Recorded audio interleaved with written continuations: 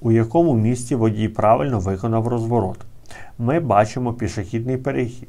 Згідно правил дорожнього руху, ми знаємо, що розворот заборонено як на самих пішохідних переходах, так і ближче 10 метрів до пішохідного переходу з кожного боку. Виконуючи розворот за 10 метрів до пішохідного переходу по траєкторії А, коли ми не доїдемо 10 метрів до пішохідного переходу, розворот нам буде дозволено.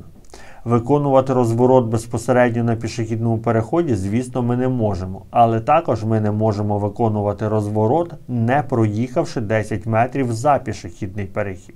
Тому ми відповімо відповідь А. За 10 метрів до переходу можемо. Після переходу нам потрібно проїхати 10 метрів, а не не доїхати до цієї локації.